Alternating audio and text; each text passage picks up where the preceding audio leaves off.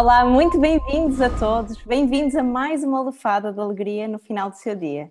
Nós hoje temos o nosso, como é tradicional ao domingo, Gourmet Online, na qual continuamos os nossos top 10 de 2020 e nós hoje vamos ter os chefes Manuela Ramos e Éder Nascimento, diretamente de São Paulo, que vão cozinhar uma torta de palmito. Estou ansiosa para ver como é que vai ser.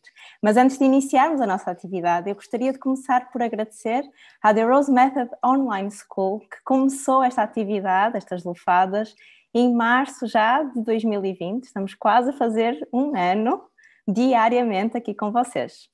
E também hoje na técnica gostaria de agradecer à Ana Marques Silva, que nos está a ajudar nos bastidores. Olá, querida, obrigada. O Telmo Nave, diretamente de Lisboa, de Augusta, obrigada, querido. E o Patrício Vinagreiro. Ambos já, estão, já são nossos anfitriões sempre aqui nas Lufadas. Muito obrigada, querido. Um, e também ao professor Luís Lopes, que organiza também as nossas lefadas ao fim de semana, prepara todas as surpresas. Obrigada, professor Luís. À professora Lívia Ligabó de Rose, que também nos ajuda todas as semanas a organizar tudo. E também, claro, a razão de nós estarmos aqui todos, o professor de Rose, a quem eu já passo a palavra para dar as boas-vindas a todos. Boa tarde, boa noite. Eu já estou com fome. Eu quero saber o que é que nós temos para hoje. Ah! Isso. Olha. Pronto, bom, e primeiramente... já vamos então para os chefes, para o, para o Éder, então. Eu só vou dizer às pessoas que quiserem participar para levantar a sua mãozinha, vou colocar no chat como fazer. E também no YouTube, a toda a gente que está no YouTube, eu também já estou disponível para vocês fazerem alguma pergunta, alguma coisa. E já vou passar a palavra ao Éder, que já está prontinho, né, Éder? Sim, sim. Muito boa tarde ou boa noite. Muito obrigado pelo convite. A gente está muito feliz de estar aqui compartilhando um pouquinho da nossa cozinha e da forma como a gente cozinha. Meu nome é Éder, eu sou instrutor da Escola de Rose Morumbi, aqui de São Paulo. Agora eu vou deixar você apresentar. Prazer, boa tarde. Eu sou a Manuela e sou instrutora da Escola de Rose Vila Nova Conceição, aqui em São Paulo também. Bom, muito bem. É, a gente vai fazer hoje uma torta de palmito com uma massa de grão de bico, que na verdade foi a Manuela que teve essa ideia. Ela estava na escola dela e eles fizeram um pedido de algum lugar e aí ela amou essa torta, falou, Éder, eu comi essa torta e vou fazer para nós. Falei, ótimo, vamos lá então. Aí ela fez umas duas ou três vezes, a gente adorou. E aí, quando a gente estava decidindo o prato para fazer, eu falei, de cara, vamos fazer aquela torta? Ela, vamos. Então a gente vai preparar essa torta para você, é uma torta deliciosa. Pena que a gente não tem a tecnologia de conseguir passar o prato aqui pela internet para vocês experimentarem, mas vamos tentar trazer um pouquinho do gostinho da nossa cozinha aqui para vocês. E na verdade, quem vai fazer vai ser a Manuela. Eu vou ficar aqui só como um coadjuvante, porque já é a segunda vez que a gente está aqui. No outro eu fui a pessoa que fez, ela me ajudou e hoje eu vou estar ajudando ela. Então... E da outra vez eu fiz um prato doce. Ah, é, ela fez um prato doce, é verdade. Eu fiz o salgado. Hoje só vai ter salgado. E aí quem vai mandar na cozinha é ela, eu vou estar aqui só ajudando. E contando algumas histórias, vamos lá. É... Mite, eu, é... quando tiver dúvida, você vai interrompendo a gente e vai falando Isso. as dúvidas, né? Isso, eu vou falando. Então, gente... se alguém tiver alguma dúvida, também pode colocar no chat, levantar a mãozinha. Se vocês estiverem a cozinhar e quiserem levantar a mãozinha também, para nós vermos e acompanharmos, tudo, estejam à vontade, tá bom? Pode, a bola é sua, Manuela. Obrigada. A gente vai começar com a preparação da massa de grão de bico. Então, a primeira parte que você vai fazer. Vou botar aqui para eles verem. Ok. É ligar o forno. Deixar o forno pré-aquecido, porque daqui a pouco a gente vai precisar dele. Então, a gente já adianta essa parte e já deixa o forno esquentando. O Éder vai fazer essa parte para mim. E aqui, a gente tem o grão de bico que ficou já de molho 24 horas. A gente trocou a água e cozinhou por 15 minutos na panela de pressão. Depois da pressão, é, eu escorri a água, tirei aquela água, a água eu descartei. Algumas pessoas têm feito receitas com essa água que sobra do grão de bico. Eu não fiz, nunca experimentei ainda, mas se você quiser experimentar, tem essa possibilidade. E aí agora a gente vai pegar. Aqui tem 250 gramas de grão de bico. a gente vai pegar isso aqui e vai processar no multiprocessador. O processador que eu tenho é pequenininho, então a gente vai fazer em pequenas porções. Vamos lá. Eu vou botar uma quantidade de grande bico. A quantidade que você vai colocar aqui para processar vai depender do tamanho do seu processador em casa. Eu não vou colocar muito, eu procuro sempre colocar a metade do processador. É, você olha o tamanho do seu e coloca metade. Se você colocar muito, pode forçar muito o processador. Como o grande bico está bem molinho, é mais para dar uma, uma amassada nele. Se você não tiver processador em casa, você pode fazer isso com um garfo ou com um, um amassador de batatas. Meu ajudante está mostrando aqui. É. Aqui a gente já vai colocar os temperos. Então, eu vou colocar um pouquinho de cúrcuma. Tá na outra câmera, é isso, Éder? Aham, só para vocês verem aqui, ó. Ah, para deixar colorido. Bem amarelinha. Um de, bem amarelinha. Um pouquinho de sal. Nós já temos aqui uma dúvida no chat. A Jéssica está a perguntar: é possível fazer já com a farinha de grão de bico? Eu nunca experimentei. nunca fiz. Não sei. Melhor não. A cara dela foi de assustada, né? A pessoa faça em risco. É, faça em casa, Jéssica, e depois me avisa. o que eu tô pensando é o que você vai utilizar para dar a liga com a farinha do grão de bico. Se você vai utilizar só água ou se vai precisar de alguma outra coisa. Eu nunca, realmente eu nunca fiz, eu não sei te dizer. Na próxima um semana convidamos a Jéssica para fazer a mesma receita, mas agora com Isso. um pouco de azeite. Eu vou tentar bater ele primeiro sem botar nada de água, porque se eu colocar muita água aqui, eu talvez precise de uma farinha para dar liga. Então, como a gente quer fazer só o grão de bico puro, sem nenhuma farinha, eu vou bater sem farinha. Posso fazer uma pergunta, Manuela? Nós agora claro. temos algumas, uh, alguns vídeos preparados. Vocês querem que nós coloquemos os vídeos agora enquanto vocês estão a processar, enquanto vocês estão a fazer isso, até por causa do ruído? Ou é? Ok. Sim. Pode ser. Tá bom. Então, vamos passar então já a palavra ao professor Luís para primeiro, o primeiro vídeo da, da tarde. Boa tarde a todos os amigos, boa tarde, Éder e Manu. Prazer enorme tê-los cá. Professor De Rosa, uma vez mais, obrigado pela nossa lufada de hoje. Cada dia estamos sempre à espera dessa lufada para que a vida fique melhor. O primeiro vídeo é, tem a ver com o terceiro documentário da saga dos realizadores do Cowspiracy e What the Health, que já foram passados aqui na, no Cine Pipoca, como debate também, e este provavelmente também venha a ser, que é o Seaspiracy, que é o documentário que aborda o estado dos oceanos. Por que, que nós optamos hoje por esse vídeo? Porque fala de uma das grandes extrações de alimentos do mar, que estão dando cabo do mar e que ainda por cima não é um alimento apropriado para ser humano, que é todo tipo de pescado. Mas eles não falam só disso. Eles falam tanto dos lixos, dos plásticos, do, do, dos ferro velhos que são jogados, bom, enfim, eles falam de várias coisas. Nós vamos dar depois alguns tópicos, mas em especial também sobre a questão do pescado. Nós sabemos que três quartos do pesca, do, do, dos peixes no mundo todo são eh, extraídos dos mares e usados para consumo. Mas será que é preciso mesmo realmente esse alimento chamado peixe? Bom, primeiro não é próprio para o humano porque está dentro do item carnes. Mas o curioso é que esse documentário também vai abordar essa componente alimentar. Nós vamos passar só o trailer e depois alguns slides do Instagram do filme que, que revela algumas das informações que vão ser passadas durante esse documentário. Então, vou pedir aos nossos queridos amigos técnicos coloquem o vídeo. My name is Ali. I've been fascinated with the ocean for as long as I can remember. But this romantic vision that I always had of the ocean completely changed. I was forced to confront a side of the story I never knew, a story of just how huge our impact on the seas had become. Where are the big environment groups? They are deliberately not engaging with the most important issue of all. Can you turn off the cameras? Thanks. Would you say there's any safety concerns for me making this film? ถ้าคุณก็กลัวตาย คุณก็กลับบ้านไปเถอะนะครับ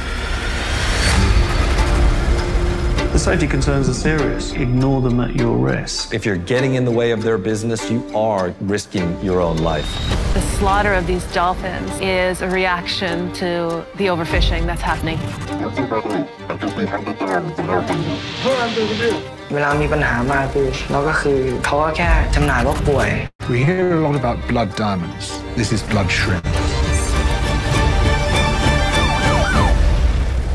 We are at war with the oceans, and if we win this war, we're gonna lose it all because mankind is not able to live on this planet with the Dead Sea. I just don't see how you could possibly enforce sustainable fishing laws with all these boats. The same syndicates that are behind illegal fishing are the same criminal groups that are behind drug trafficking, human trafficking, and other crimes. So there's no slavery going on? No, no. Business, huh? It's business. If you want to address climate change, the first thing you do is protect the ocean. And the solution to that is very simple. Leave it alone. Most of the positive and negative things that bring about change in human civilization start with someone. Someone.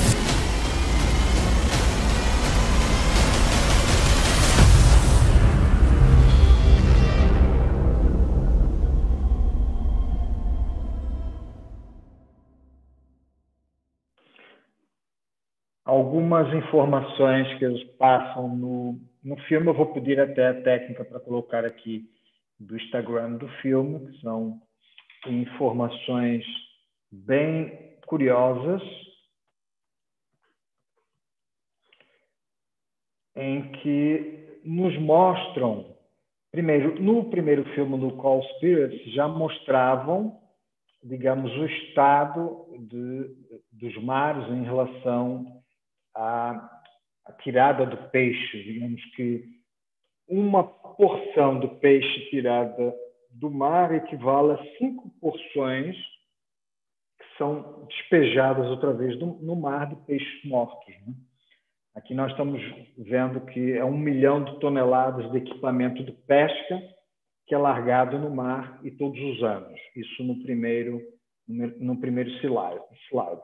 Depois aqui no segundo, um milhão de toneladas de equipamento pesca. Ah, não.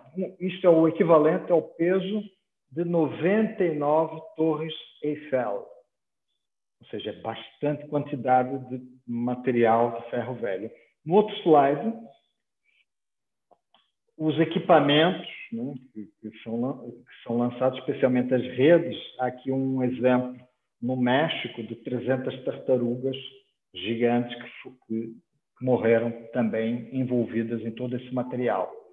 No outro slide, a seguir, aí eles sugerem o que, é que a gente pode fazer. Então, a alimentação que não inclui peixes, logicamente, diminui a demanda e a procura do, do peixe em si, que vão, que vão sendo eh, não só tirados para consumo, mas também os que ficam mortos e, enroscados nas, teia, nas, nas redes. Todo o material que nós possamos na praia apanhar desde anzóis, redes, lixo, o pouco que seja, todos que façamos isso será será uma boa ajuda também à limpeza dos oceanos. E depois uma curiosidade também no próximo no próximo slide de, que eles publicaram do filme é a questão do emprego, do trabalho. Eles dizem que no próximo slide, penso eu, eles referem que, que por ano morrem 24 mil pescadores por causa do lado precoce de, de, das suas frotas, né? do risco que correm, bem como as canoas que vêm logo no slide a seguir também, são mais frágeis, não há, não há colete salva-vidas, se afundam mais facilmente.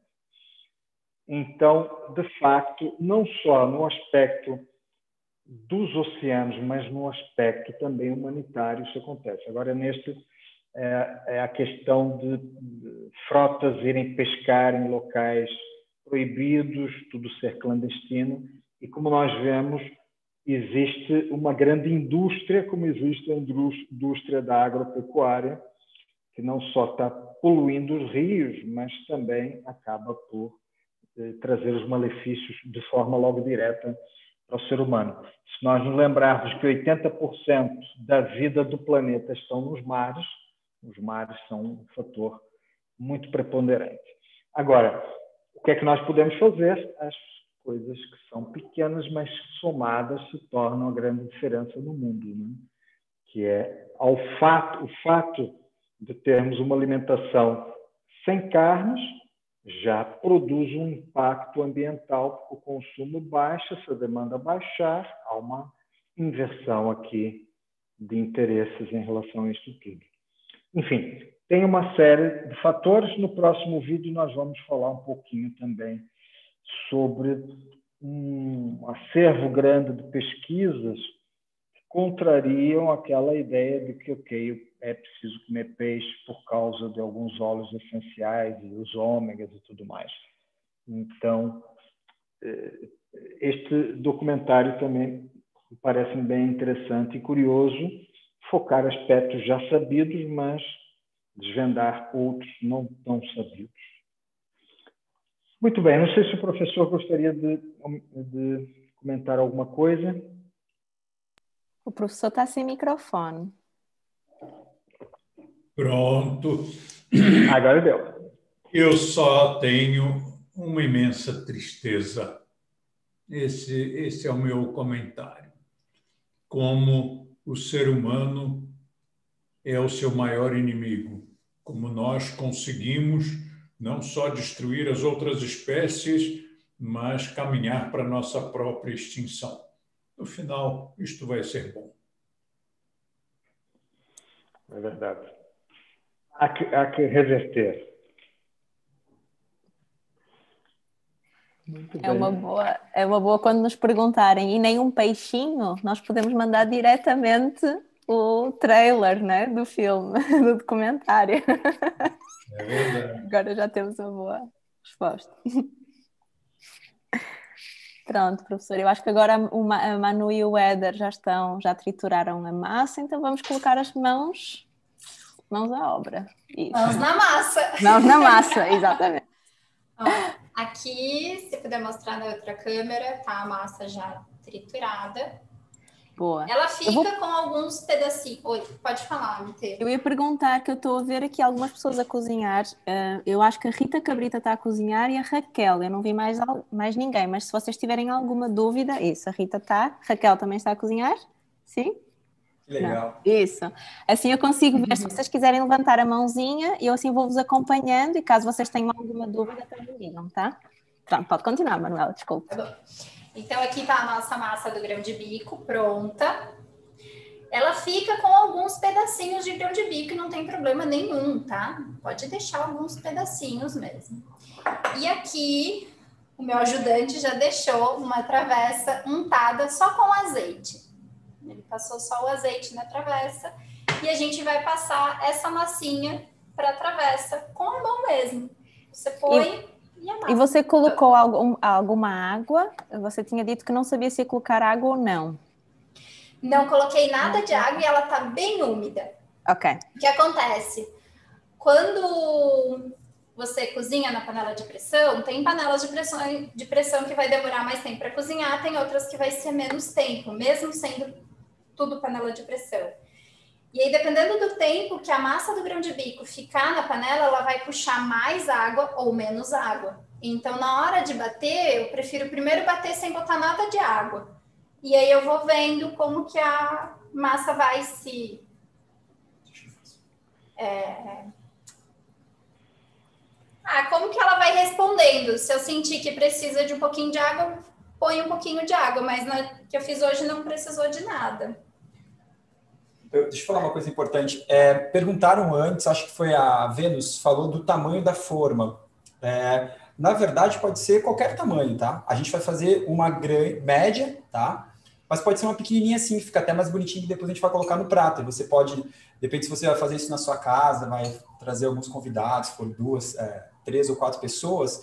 É, vocês vão ver depois que é mais bonitinho, a gente coloca aqui a massa e depois coloca o palmito e o inhame por cima, coloca no forno e depois a gente coloca no prato, tá bom? Então, independente, independentemente do tamanho que você for escolher, os dois funcionam, tá? A gente vai fazer os dois até para todo mundo não ficar com dúvida. Um vai ser para o Éder e outro para a Manu, é isso? É, é esse é o meu. Esse é o meu. Não, esse é o meu. Eu estou fazendo. Na, na verdade, o que, é, o que a gente faz aqui em casa, Lipe, e para todo mundo serve a dica, é, a gente procura facilitar ao máximo a nossa rotina no dia a dia. Então, eu deixo muita coisa pré-pronta. Então, quando eu cozinho o grão de bico, o grão de bico vem num pacotinho de 500 gramas. Uhum. Eu já cozinho os 500 gramas de uma vez. E o que eu não usar naquele dia, eu congelo. Ponho num saquinho e uhum. congelo, sem água, sem nada. Então, quando eu preciso fazer uma torta, fica mais fácil, porque a preparação do grão de bico, você tem que tirar um dia antes, deixar de molho. Não que dá trabalho, é super fácil, mas, mas demora você tempo. Precisa de, você precisa de uma certa programação. E aí, aqui em casa, quando eu faço, eu faço vários potinhos, a gente tem várias cremeiras dessa, eu já deixo pronta e congelo. E aí um dia chega alguém, algum amigo, né, algum instrutor que veio de, São, de Portugal visitar a gente. Depois, depois que voltar, depois que voltar tudo normal. E aí, de surpresa, sem avisar, ou você tá na correria e não conseguiu parar para fazer nada, eu só mando mensagem pro Éder. Dá uma olhada no freezer, vê se tem alguma coisa pronta. Aí a gente tira, põe para assar e deu. Tem um prato super gostoso, saudável, nutritivo e feito pela gente, que é muito mais gostoso, né? É, isso foi uma das coisas legais da. Por mais que tenham coisas não tão bacanas da pandemia, mas aqui em casa, uma das coisas legais que a gente desenvolveu foi. Quando a gente entrou na pandemia, a gente falou assim: a gente não vai pedir teleentrega de comida de fora, a gente vai utilizar o tempo que a gente tem agora em casa para experimentar alguns pratos e fazer a nossa comida do jeito que a gente gosta, com os temperos que a gente gosta. Então foi um, um ano muito bacana, pelo menos para nossa alimentação. Ela ficou muito melhor, muito melhor. A gente descobriu um monte de coisas legais. Então, para nós foi, foi muito bacana. E esse foi uma das descobertas, entre outras, assim. E a gente utilizou muito o nosso tempo, porque a gente ficou trabalhando de casa, dando aula de casa. E a gente, eu acho que talvez em um ano a gente tenha, tenha feito no máximo cinco pedidos de comida é, que nós não fizemos, que a gente pediu por teleentrega. Isso foi uma das coisas, acho que foi mais bacana. Nossa alimentação ficou muito, muito boa. Então, tem aquela coisa, em vez de reclamar, a gente, o que a gente pode fazer para melhorar? Então, essa foi a nossa ideia, nosso, nosso mindset aí para poder a, melhorar a nossa alimentação. A Manu, por exemplo, emagreceu um monte na, na pandemia, né? Sim! Oh. ficou mais bonita. Ela já é, ficou mais bonita ainda. Ok. A gente. Ó, deixaram encabulado, acho. Ficou. Eu tô com as duas formas, né? Com a cremeira pronta e com a outra travessa pronta também. Ainda sobrou massinha. Eu posso congelar essa massa do jeito que ela tá, ou, que é o que eu vou fazer aqui em casa, eu já vou untar as outras cremeiras e deixar tudo pronto. Deu? Trabalho uma vez só, um dia só e preparo tudo num dia. E aqui, o pulo do gato. Antes de colocar essa massa para assar, ela vai assar por enquanto.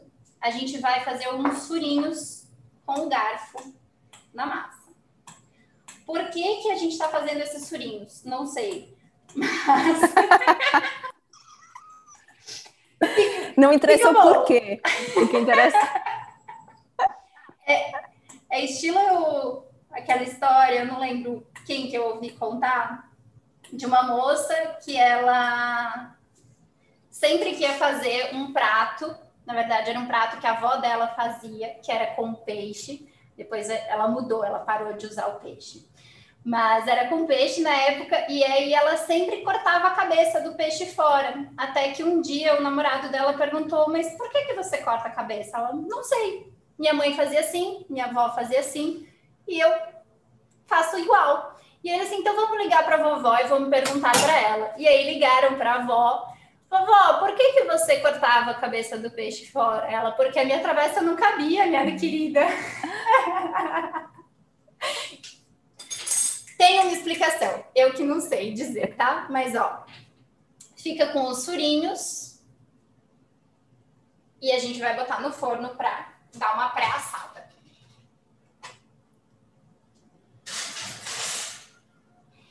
Enquanto tá assando, a gente vai preparar o recheio. Então, vamos lá.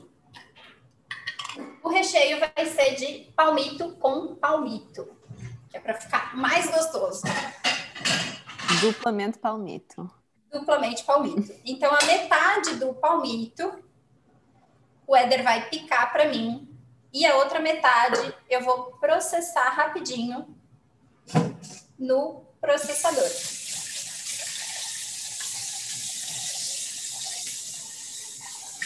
Um, estão a perguntar aqui no chat quanto tempo no forno e a que temperatura? Ah, 200 graus a temperatura e fica uns 10 minutinhos. É mais para dar um, para a massa já se, dar uma secada e ficar mais crocante. Então, e agora já temos uma explicação. A Mara um, Carneiro comenta: o Renato disse que fura a massa para o ar sair quando a massa cresce, assim a massa não quebra. Então já temos. Ah, obrigada, Rê!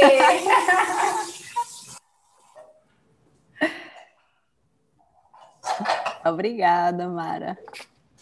E o professor De Rose já imaginou quantas histórias nós fazemos assim de condicionamento, como a história do peixe, que nem nos apercebemos, né? Eu amei essa história. É verdade. Tanta, tanta coisa que nós repetimos porque nós vimos fazer e nem sabemos porquê, mas continuamos, né? E quando fomos a dar conta, fica tudo muito diferente, né? Da, ou seja, sem, sem justificação. Por isso é que o trabalharmos com comportamento é tão importante, não é, professor De Rose? É, eu vou usar essa história em muitos cursos meus, pode ter certeza. Adorei a história do peixe. Eu já conhecia quando, há muitos anos. E simplesmente depois esqueci. Foi muito bom ela ter contado.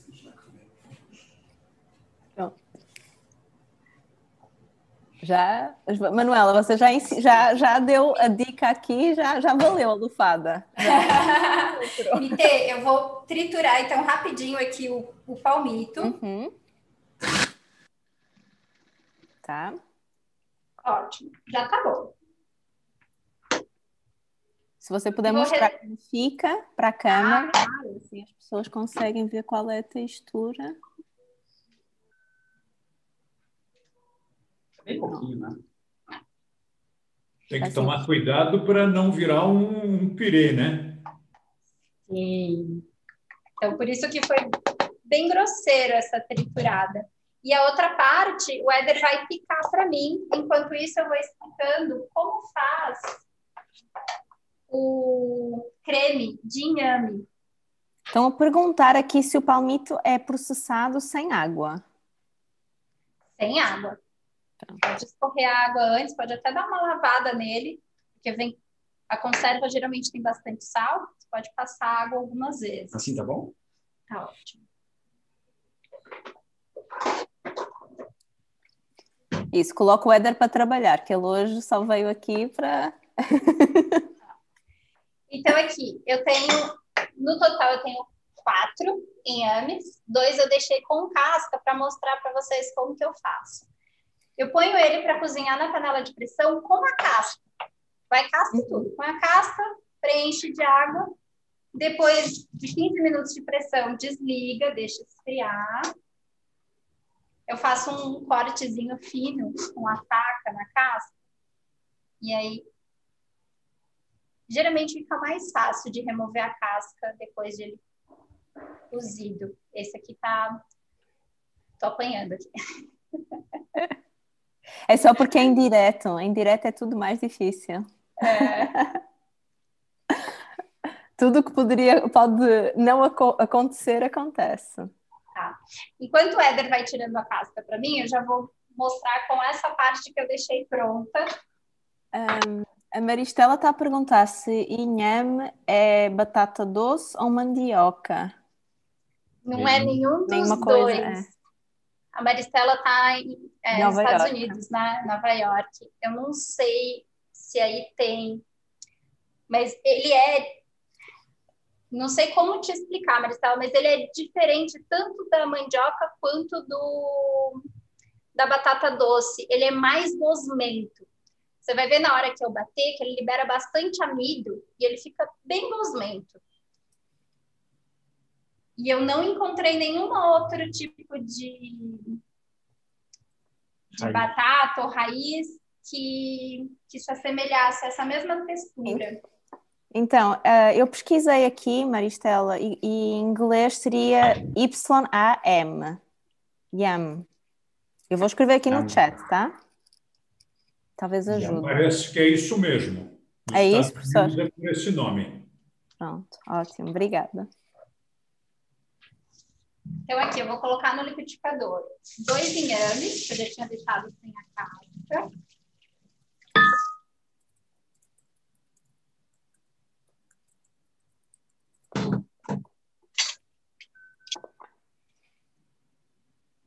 Suco de um limão.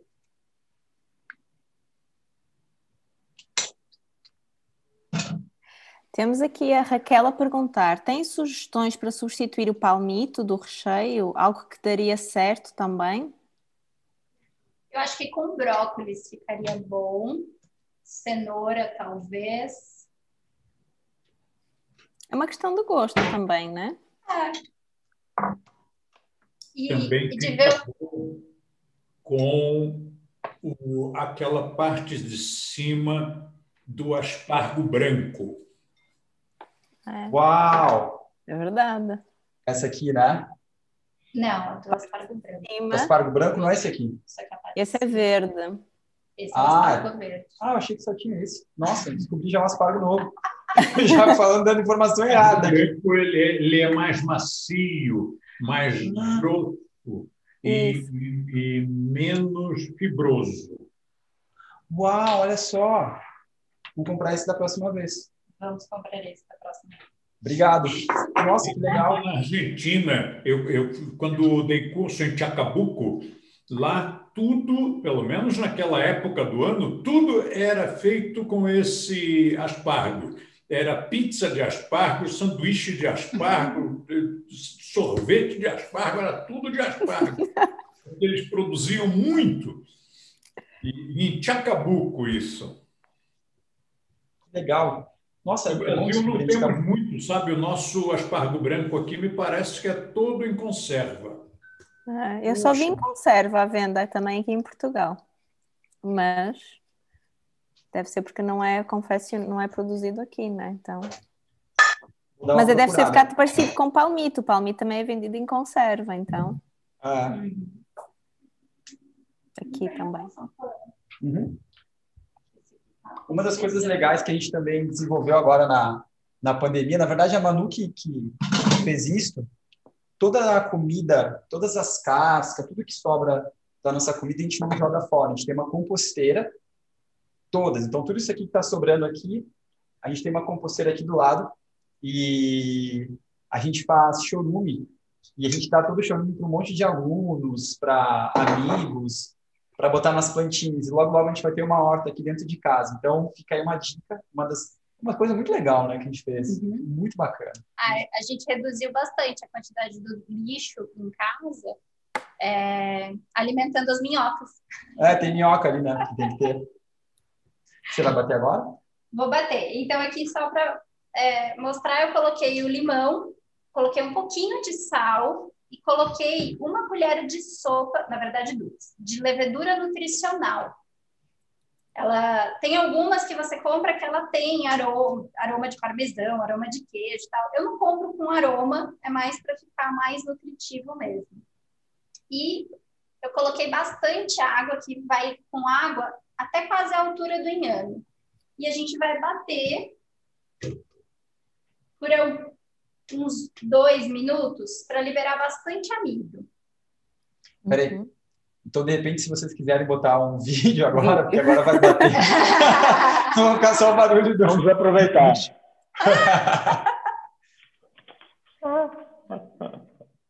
então, vamos aproveitar aqui o, o mixer a funcionar e vamos passar aquele vídeo que referimos há pouco do Michael Greger falando sobre a questão do consumo do peixe que afeta o cérebro, que realmente impacta em várias capacidades cognitivas e a questão que também virou mito dos ômegas e dos óleos que, que os peixes eh, poderiam fornecer na sua ingestão. Mas é interessante porque ele apanha várias pesquisas, inclusive começa pelas principais causas de morte, que não tem nada a ver com nenhuma dessas referências. Mas vamos ver o que ele nos tem para dizer nesse compilado de informação.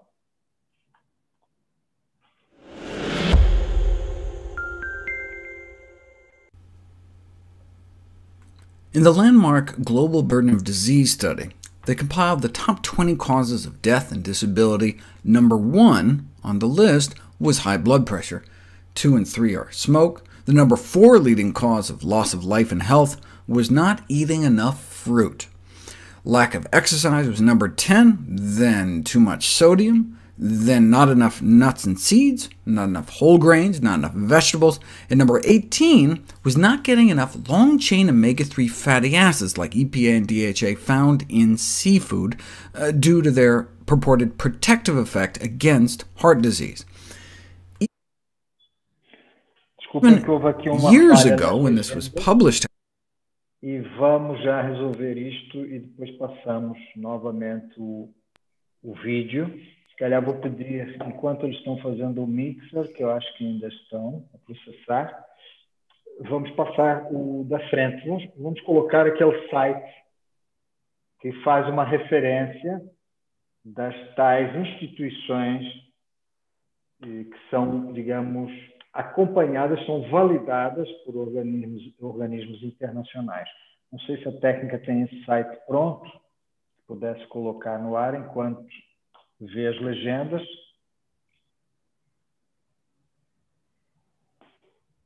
Uhum. Não, parece que o site não está não tá pronto ou está dando qualquer erro. É o que eu disse, tudo que é indireto há sempre o risco de falhar. É, é. Deu aqui um erro. Tudo bem, pode ser que já tenham terminado a mixagem, que a gente já possa... Ah, não, já voltou, já voltou. Muito bem. Este site é o tal que eu estava referindo, é sobre vários, vários tópicos, vários temas de intervenção, não só a nível de, de oceanos, mas também a nível de direitos humanos, etc. Vários, mas aqui nós pegamos o tema de hoje, que é os oceanos, então ele aqui conta um pouco a história dos oceanos, fala aqui da vida, realmente 80% da vida existente dentro do, do, está dentro dos oceanos. Podemos descer e tem um pequeno vídeo que é mesmo aí clicando aí que vamos ver. É um vídeo de um minuto só.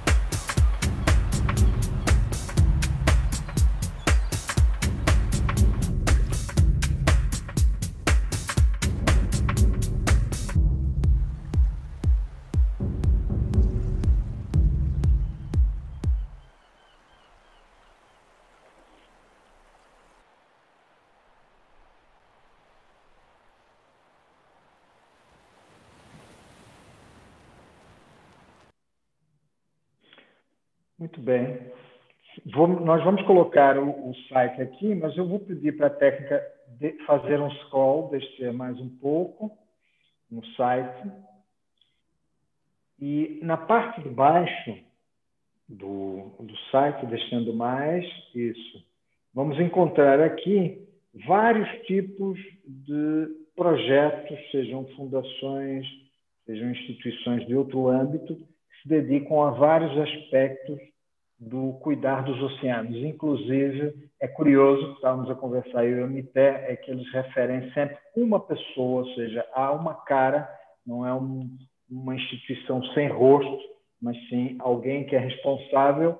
E se nós clicarmos em qualquer uma delas, nós vamos cair dentro desse projeto que é reconhecido como sério e que tem a pessoa eh, correspondente a dar o acompanhamento e aí cada um poderá contribuir como quiser, seja de forma financeira ou não. Por exemplo, nós temos aqui um outro projeto, se andarmos um pouquinho para a direita, andarmos um pouquinho para a direita, vamos ver aqui este relacionado com os plásticos.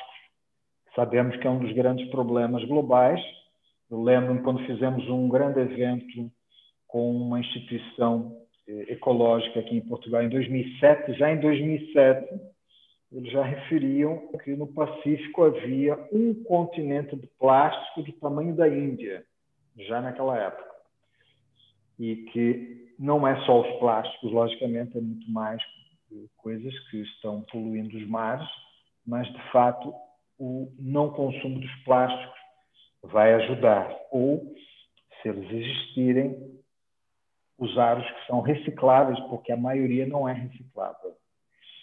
Inclusive, nós agora, com esta fase da pandemia, houve uma piora substancial, bem acentuada, eu diria até, na questão dos plásticos. Agora, o que é que nós podemos fazer? É, são aquelas gotinhas d'água que cada um vai fazendo, que depois vai criar um oceano sustentável. Então, assim como nós fazemos no nosso cotidiano, as coisas básicas, em coisas outras de organizações, como por exemplo no nosso último última edição física do festival em Portugal, não havia copos de plástico, mas sim cada participante ganhava uma garrafinha com uma mensagem, com a nossa mensagem transmitida pela marca, em que ela usaria durante todo o fim de semana para encher d'água, mas também levaria para a sua vida. Então, poupamos ali umas belíssimas centenas, se não milhares de copinhos d'água, porque é fácil pegar num e jogar no sábado depois vai buscar outro. Então, fiquem eh, aqui no, no bate-papo, já a técnica, a Mité já colocou aqui o site. Esse é mesmo fidedigno, inclusive foi orientado por aquela aluna da Mité de Londres, que é uma grande empresária e que também está com um projeto de animais que nós já passamos aqui, numa das lufadas, que são de animais que estão em extinção, mas que ninguém se preocupa porque eles não são bonitinhos como determinados outros uh, animais. Né? Bom, muito tempo para se falar sobre esse tema, mas aqui fica mais uma oportunidade para nós fazermos três vezes três ações de civilidade por dia. Aqui já vão umas boas possibilidades simples para que nós o façamos. Obrigado. Não sei se o professor quer emitir alguma eh, opinião. Não, não, não tenho nada em especial, mas já que você me deu a palavra, a gente sempre tem alguma coisa a acrescentar. Eu me lembro de que muitas vezes a opinião pública passa à frente da estrutura de Estado, né? Então, há uns 30 anos, mais ou menos, aqui em São Paulo, a iniciativa popular começou a fazer a seleção do, do, do lixo para a reciclagem. Então, os prédios separavam tudo. Se é reciclável, se não é, se é plástico, se é vidro, se é lata, metal. Naquela época, há 30 anos, as pessoas já faziam, mas depois vinha a recolha do lixo e juntava tudo outra vez. Até que finalmente eles começaram a manter separadinho. Hoje, já há muitos anos que nós conseguimos separar, fazer o lixo é, seletivo, né? Mas é pronto, é só isso. É a respeito justamente de não jogar fora as, as copinhos plásticos vão, no final, se não forem reciclados, eles vão acabar mesmo no lixão ou no oceano. É verdade. Mesmo isso. Obrigado, professor. Uma, uma, um dado interessante. Sim. O, o, país que recicla mais latinha de refrigerante no mundo, sabe qual é? Não faço ideia. O Brasil. O, a reciclagem chega perto de 100% das latinhas. É 99,999. É um número absurdo. Praticamente todas as latinhas de alumínio das refrigerantes, cervejas, praticamente todos eles são reciclados.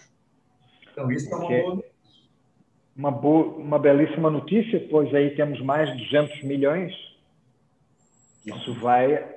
Mais de 250 milhões de habitantes hoje. Já 250, uau. A última, o último recenseamento, não se sabe, talvez estejamos perto dos 300 milhões. Eu lembro quando saí daí em 1973, eram 90 milhões. Hum? Ah, vou tirar o Como ser humano, Subiu bastante. Nós somos uma bactéria, né? Como a gente se reproduz e vai consumindo o organismo que, que nos hospeda, que é o planeta. É incrível, incrível. Obrigado. Obrigado. Obrigado eu, professor. É impressionante, realmente. Um, então, e antes de passarmos à Manuela e ao Éder, nós temos uma mãozinha levantada da Fátima. Vou-lhe já passar a palavra, caso ela tenha alguma dúvida, alguma coisa para acrescentar. A Fátima está sem som. Isso, agora. Agora acho que já está. Ah, sim. Tá. Boa tarde a todos. Boa tarde, professor de Rose, professor Luís e todos os amigos uh, do Brasil e Portugal, enfim, por todos no mundo. Eu agora estava a ouvir, um, não, eu não estou a cozinhar, eu estou a tomar as minhas notas e depois faço depois. Mas agora estava, eu achei muito interessante estes vídeos que nós acabámos de ver e lembrei-me de uma coisa eu ia pôr no chat, mas depois se calhar era um bocadinho longo e assim aproveito e, e digo porque eu gostei muito da viagem que foi organizada e tive a ver, uh, o Telmo Nave participou e outros amigos também do método, do nosso método, uh, à China uh, para ver aquela população que é matriarcal, que segue a linha matriarcal.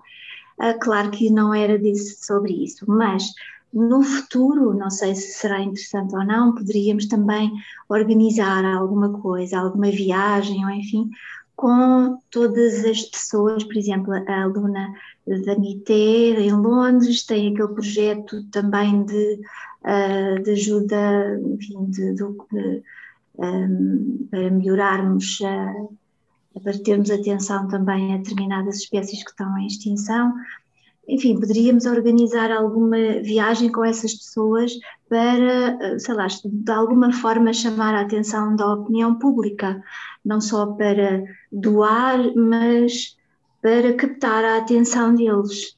Ehm, não é, enfim, não foi nesse, nesse, neste ponto da, da poluição e do desrespeito para com a natureza foi somente para, para melhorarmos a nossa alimentação, eh, que eh, em Londres foi criado esse evento que a MITE até já tinha falado, eh, para as pessoas prestarem atenção à sua alimentação e deixarem de comer carnes.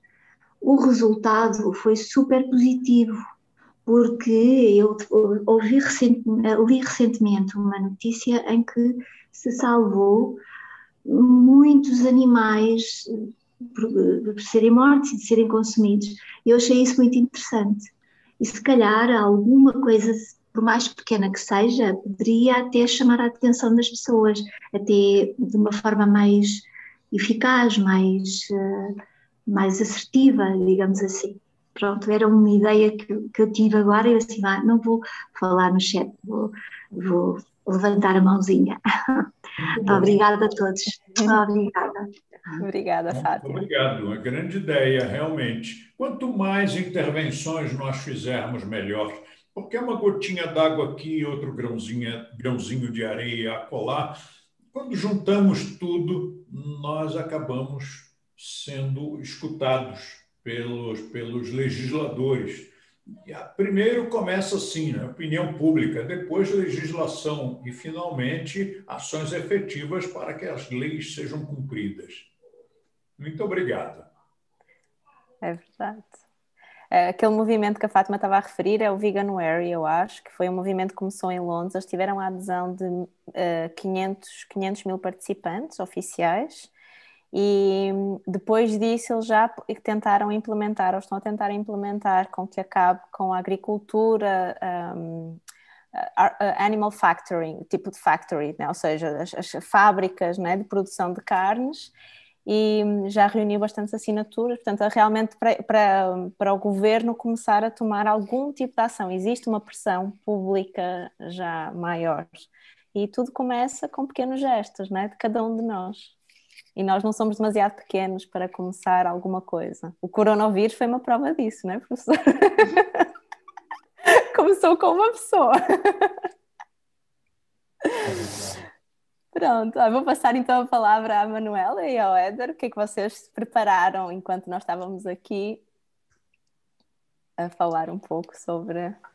Antes de passar para para a continuação aqui do prato, só no tema que o professor Luiz Lopes estava mencionando, uma ação que a gente fez aqui em casa foi trocar as nossas esponjas.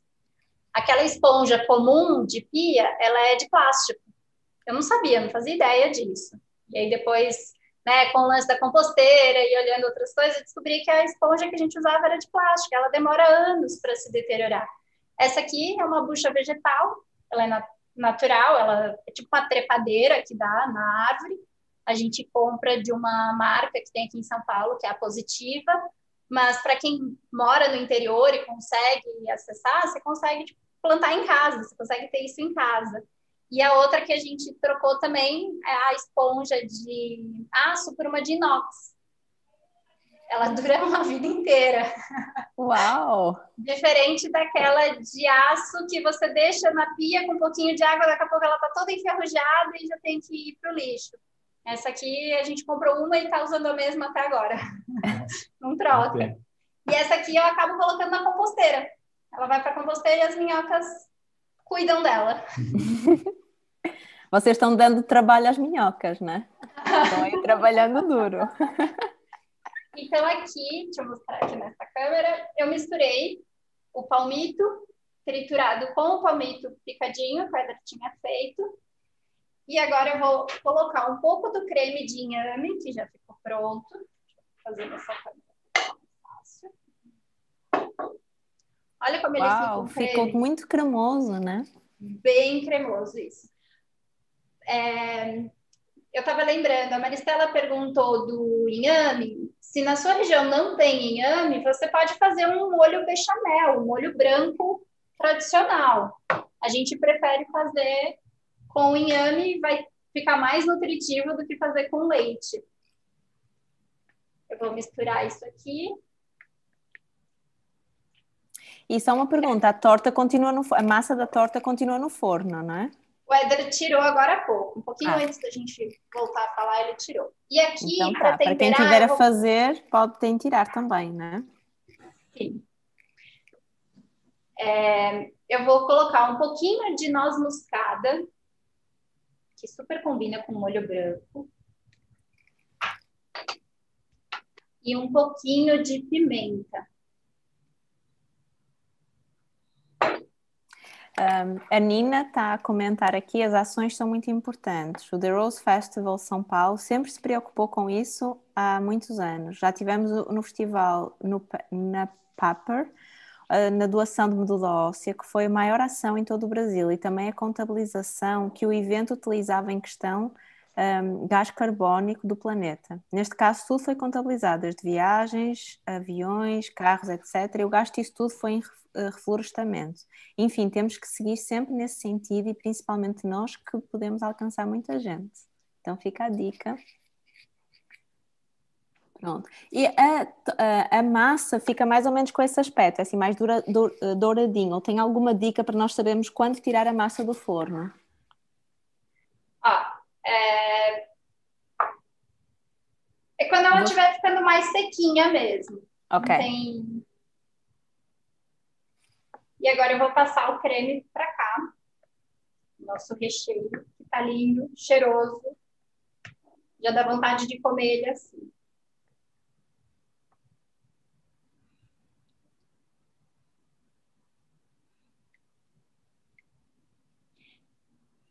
Uau. E por uma questão de, de gosto, tipo, eu Éder, a gente prefere a torta com menos massa. Então, eu não vou colocar cobertura. Mas se você quisesse, daria para pegar a massa do grão de bico e colocar ela por cima, uma camada fininha, para ficar uma torta fechadinha mesmo. Uhum. E agora ela volta para o forno só para gratinar. Boa. Tá quente? Tá quente. Você faz mais um pouquinho para Sim. Eu vou fazer um pouco mais de recheio uhum. para deixar reservado aqui. Enquanto isso, o Eber vai fazer os aspargos e os tomates, que é só para a gente colocar no prato e um acompanhamento né? Quem não quer comer a torta sozinha pode fazer um acompanhamento. Precisa ser aspargos e tomate? Não, pode ser o legume que você tiver na sua geladeira. Abre a geladeira, olha o que, que tem aí e consome antes que passe do prazo de você comer. Come enquanto ele está mais in natura. Ô Bela, você sabe como se faz um almoço de negócios? Não. Você abre a geladeira, pega todos os negócios que tem ali dentro e faz. Excelente! Excelente. Ah, essa foi boa. E a gente gosta de fazer negócio, então, né? Muito! A gente adora negócio de casa. Eu é... também. Bom, então vamos lá. Na verdade, agora eu lembrei do aspargos. O, professor, o professor De Rose falou agora, eu lembrei, realmente. Ele é mais molinho, e você pode utilizar também em vez desse aspargo verde. E realmente aqui em São Paulo não tem. É, às vezes ele fresquinho, normalmente ele está enlatado. Mas se procurar, às vezes uh, você acha, né? Ele tira ali as, as, flores dele e coloca. Eu vou fazer com esse verdinho, é, porque eu já experimentei uma vez, foi num restaurante, eu adorei a forma como eles fizeram. Ele é um pouquinho mais fibroso, como o professor De Rose falou. Como que eu vou fazer? Eu vou tirar essa parte uh, mais grossinha dele aqui, mais branquinha, que é realmente mais fibrosa. Deixa eu ver se a câmera dá para pegar aqui, ó, eu cortando. Uhum, dá sim, Éder. Então aqui eu já fiz um corte para vocês verem como é que vai ficar. Então eu cortei em dois. Eu vou cortar mais alguns aqui. Uhum. Quem quiser é, fazer esse aspargos mais molinho, pode colocar ele num vapor que também fica gostoso. Eu sei que o professor De Rosa, ele gosta, às vezes, de alguns legumes mais molinhos. Uma vez eu cozinhei e ele falou, ah, gostaria de mais molinho. Pode ser também. As duas formas funcionam, tá? E aí, depois que eu terminar de cortar aqui, eu vou colocar ele numa frigideira com um pouquinho de azeite e um pouquinho de tempero e o tempero que eu escolhi para fazer, para colocar aqui, foi um masala, que foi meu primeiro masala. Foi a primeira vez que eu fiz. Vou até contar um pouquinho da história. É, eu fiz um curso do, do André Mafra sobre é, comida e histórias dos temperos. E ele ensinou a fazer uh, nesse curso. Aliás, tem um livro dele incrível, é, Sabores e Destinos e Destinos, que eu li e adorei. E ali tem uma, numa parte dos massalas, ele explica quais os ingredientes que você pode colocar é, em uma sala. E aí eu vi, li, pergunta se eu fiz, não fiz. eu vou fazer. Aí tem um outro instrutor. Foi um twist da história. Eu achei que a história ia continuar para você fazer uma sala, mas não. Exatamente. Daí, olha só, só eu mesmo com essas histórias. Uh, e aí a gente, uh, o Rafael Kiss, que é um outro instrutor da escola de Rositaim, ele fez na minha frente. Eu falei, é tão fácil, por que, que eu não fiz antes? Aí depois, com as dicas do Rafa e com os ingredientes que o Mafra indicou, eu fiz uma sala. E ele está aqui, ó. Ah, meu primeiro uma sala. Mas se você quiser, se você, até o, o professor De Rhodes, como já foi várias vezes à Índia, se quiser falar, uh, entende muito melhor do que eu. Eu acho que o mais perto da Índia que eu cheguei foi com o mestre, com, com o professor De Rhodes lá em Nova York. A gente foi no, acho que no Bronx, tem um bairro que é super indiano, a gente comeu samosa lá. Uh, então, se, se, o professor De Rose quiser falar um pouquinho mais sobre Massala, mas esse aqui, antes de ele, se ele quiser falar, vou só dizer o que, que eu fiz aqui. Eu coloquei 11 temperos, então eu coloquei anis, cravo, canela, cominho, noz moscada, é, pimenta preta, deixa eu lembrar qual foi o outro, acho que... Louro. Louro, tem mais um que está faltando que agora eu não lembro. Eu Mas, coloquei enfim, sala... no chat para quem está a assistir, quer aqui, quer no YouTube, o livro do Mafra. Por isso, se alguém quiser comprar, é só clicar no link. Exato, tanto aqui tá aí, no YouTube. Tá? E assim tá vocês lá. já sabem uma sala. Uma sala.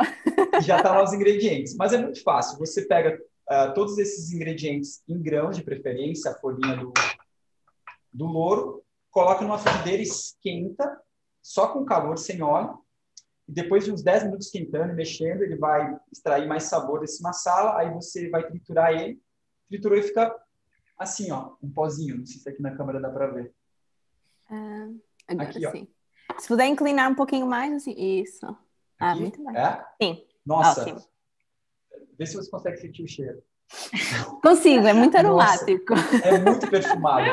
Aí, como eu, eu, eu, eu gosto muito de compartilhar o que eu faço, uh, eu mandei entregar para duas alunas minhas e para um aluno meu. Depois que eles uh, chegou na casa deles, falaram: Nossa, que perfume! Tá muito Estou aguardando, estou aguardando essa sala aqui em casa também, Eda. Ah, tá bom.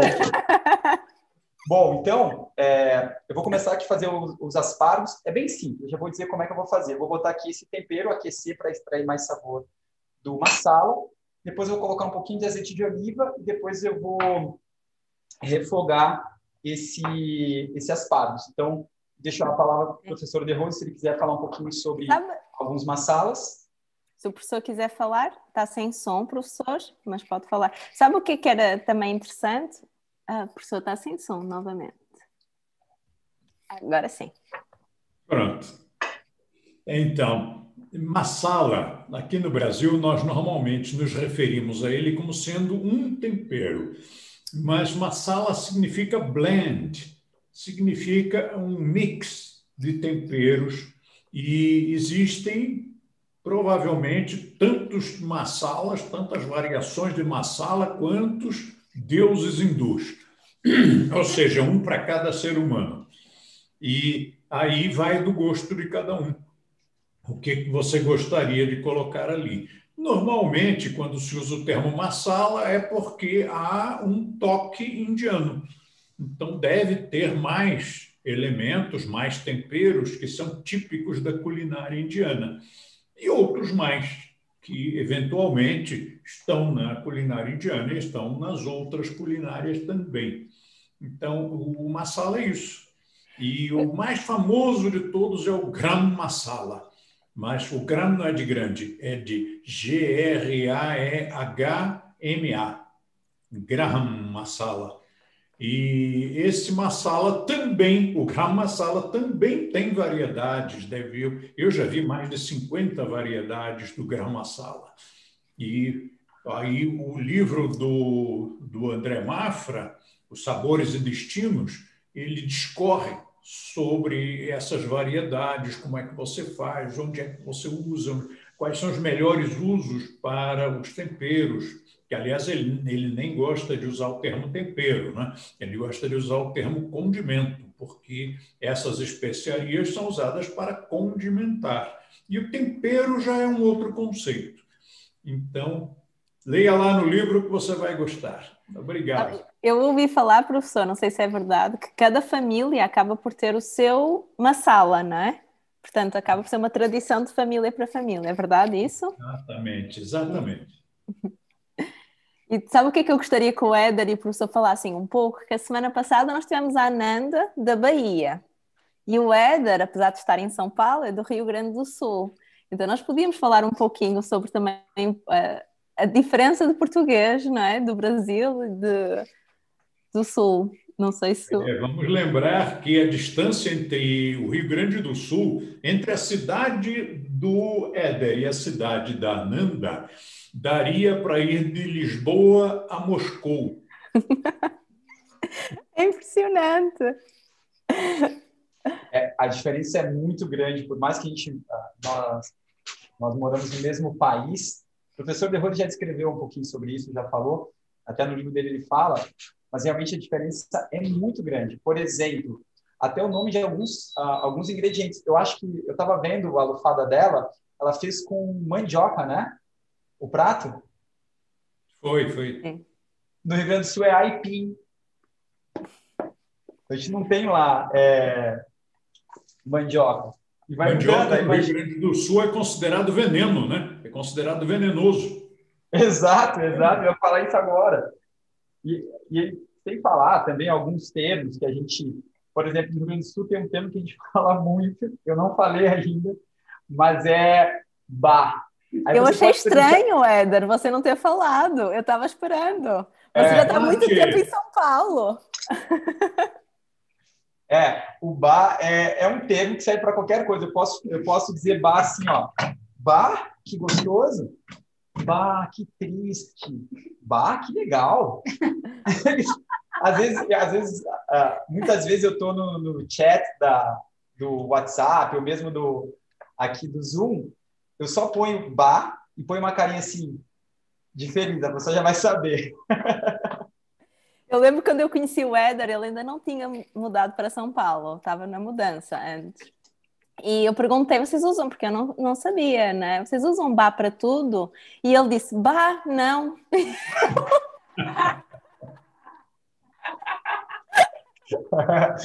Mas isso é uma das coisas legais de viajar. No próprio Brasil, a gente vai se divertindo com a língua, né?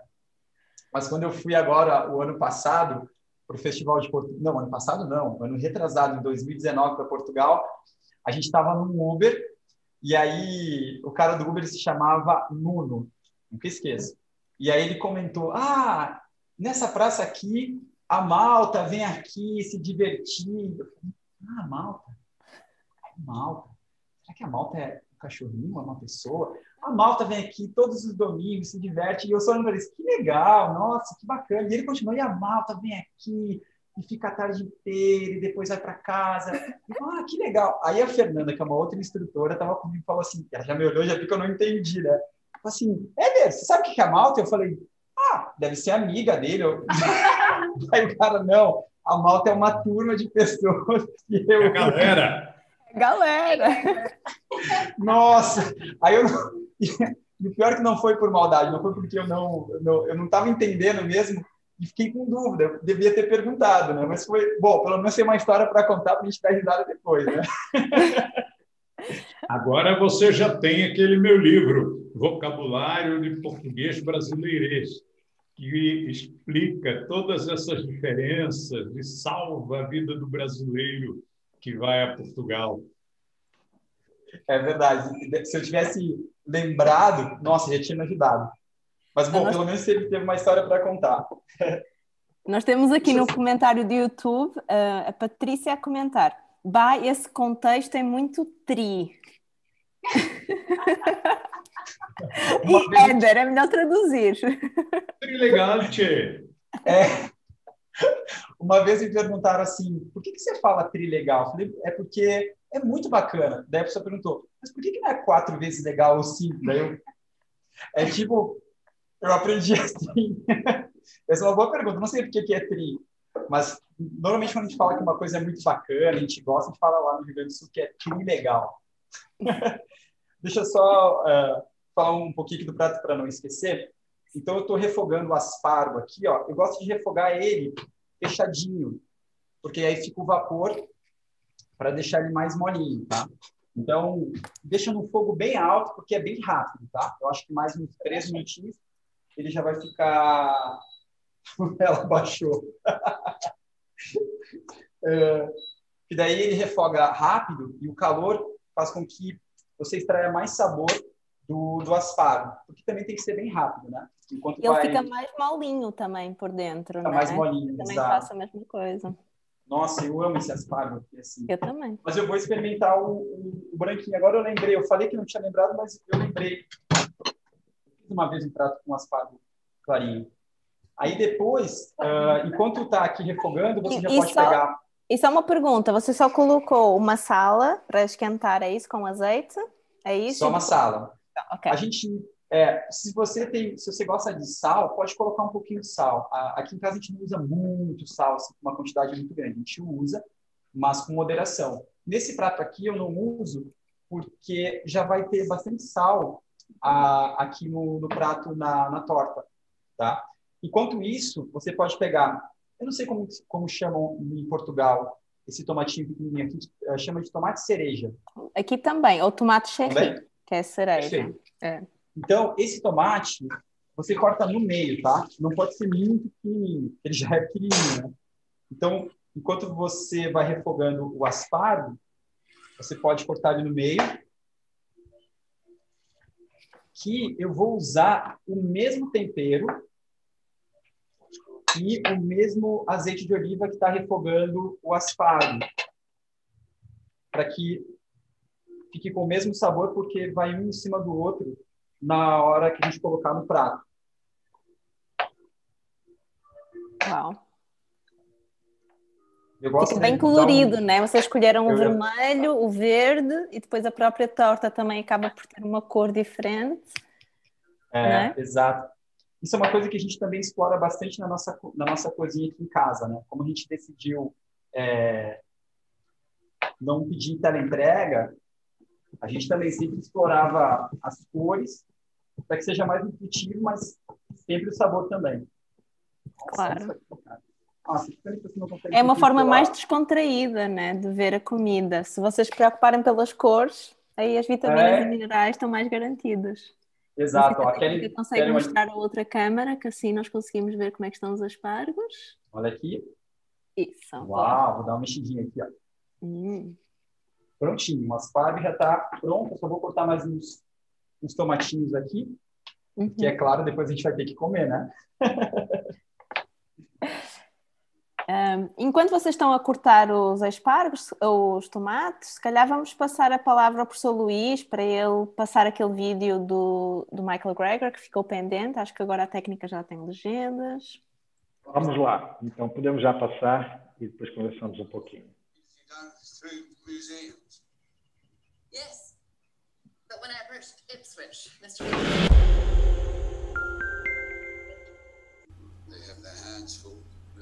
In the landmark Global Burden of Disease study, they compiled the top 20 causes of death and disability. Number one on the list was high blood pressure. Two and three are smoke. The number four leading cause of loss of life and health was not eating enough fruit.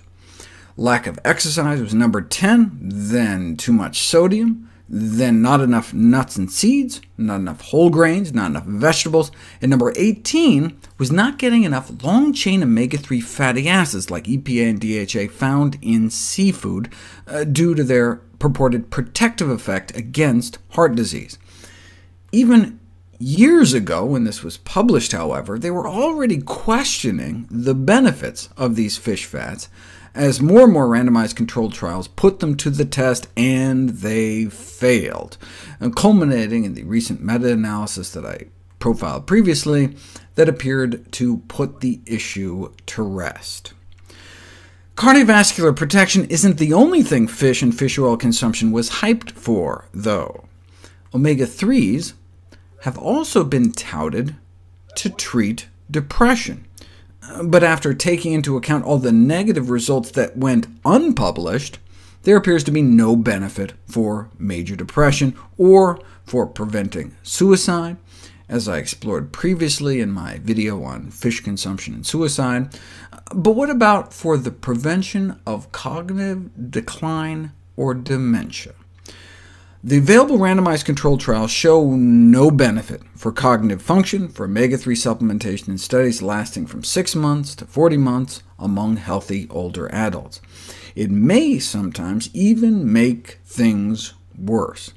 Higher current fish consumption predicted worse cognitive performance, and greater past fish consumption in childhood predicted slowed perceptual speed and reaction time. This may be due to neurotoxic contaminants in fish, such as mercury. Uh, we've known that the developing brain is particularly sensitive to the damaging effects of mercury, but maybe the aging brain is as well. This would explain results like this, where higher omega-3 levels were associated with high levels of cognitive impairment and dementia, more EPA found in the cognitively impaired, and more DHA found in the demented, presumably because of pollutants like mercury and PCBs in seafood that have been related to cognitive impairment or Alzheimer's disease. The same cognitive functions disrupted in adults, like attention, fine motor function, verbal memory, are similar to those previously reported in children exposed in the womb. And the adults exposed to mercury through fish consumption didn't just have like subtle EEG brainwave changes or something, but observable deficits in neurobehavioral performance measures. Uh, for example, poorer performance on tests of fine motor speed and dexterity, concentration. Uh, some aspects of uh, verbal learning and memory were also disrupted by mercury exposure, and the greater the mercury levels, the worse they did. But look, this study was done downstream of a gold mining operation, right? a process that uses lots of mercury. Other such studies were done on people eating fish next to chemical plants, or toxic spills, or eating whale meat. Right? Uh, what about a more mainstream population? In fact, an elite group of well-educated participants, really well-educated, most were corporate executives like CEOs, all living in Florida, and wealthy enough to afford so much seafood that at least 43% exceeded the EPA safety limit for mercury, and it had an effect. Excessive seafood intake, which they defined as like more than three or four servings per month of fish like tuna or snapper, elevates mercury levels and causes cognitive dysfunction. Uh, not much, only about a 5% drop in cognitive performance, but a decrement that no one, let alone a health-conscious and achievement-oriented person, is likely to welcome. It's worth noting the irony of this situation, the fact that corporate executives who, chose, who choose to overconsume seafood for health reasons instead sustained a drop in their executive functions as a result. Yet if a 4.8% drop in executive function due to excessive seafood intake occurs in highly functioning healthy adults with ample cognitive reserve, eh, the major concern is whether similar mercury level elevations in individuals already suffering from cognitive decline might result in substantially greater declines, particularly with cognitive decline, dementia, and seafood consumption on the rise.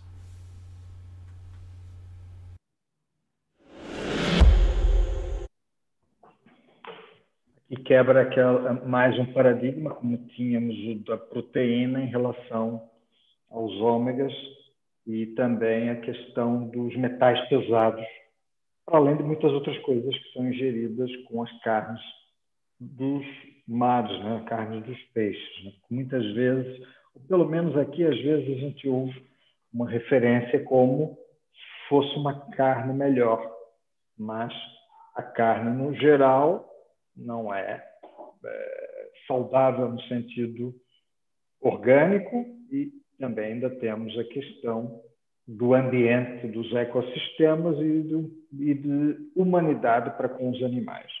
Mas achei interessante esta compilação que focou num desses paradigmas também dos ômegas. Não sei, professor, se quer uh, fazer algum comentário. Carne de peixe é carne. E carne de peixe é a pior carne. Para quem ainda come carnes, faça uma experiência.